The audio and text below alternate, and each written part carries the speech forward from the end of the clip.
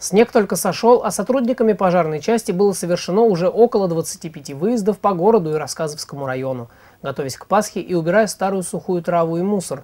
Люди поджигают костры, но не все соблюдают правила пожарной безопасности. Большинство спокойно уходит домой с полной уверенностью, что костер потухнет сам. Это и приводит к пожарам. Мусор, старая засохшая трава, заброшенные территории и, конечно, горожане, которые неосторожно обращаются с огнем. Эти факторы приводят к пожару. Даже брошенная непотушенная сигарета на траву может привести к сгоранию близстоящего дома. Апрель только начался, а сотрудники пожарной части потушили более 20 пожаров. Поджигают и в сухую погоду, в жаркую, и в ветреную погоду.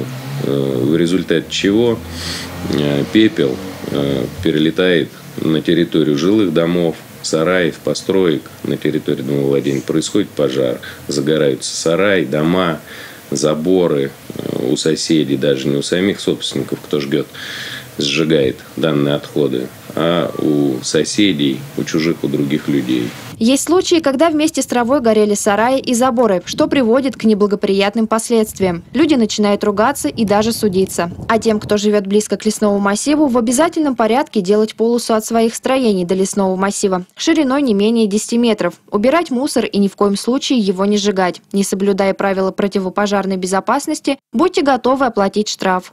Вот, в связи с этим хотелось всех предостеречь, что за данное нарушение предусмотрена административная ответственность не только на граждан, но и на должностных лиц, э, где штрафы у нас варьируются от, 16, от 6 до 15 тысяч рублей.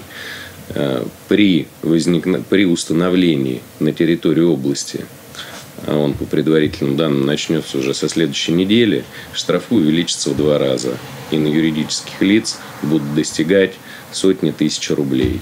Поэтому э, обращение как к органам местного самоуправления, главам сельсоветов, так и э, к руководителям, директорам фермерских хозяйств. По территории Тамбовской области прилетает спутник, который следит за лесопожарной обстановкой. Ежедневно спутник фиксирует термические точки. Термическая точка – это возгорание участков 100 квадратных метров. Все данные спутник передает на монитор в Главное управление пожарной части. На сегодняшний день на территории Рассказовского района имеется 4 термоточки. Благо, все обнаруживается вовремя и совместными усилиями огонь удается потушить. Хотелось бы предупредить жителей, чтобы контролировали свои участки и соблюдали правила противопожарной безопасности, а в случае беды незамедлительно звонить в пожарную часть.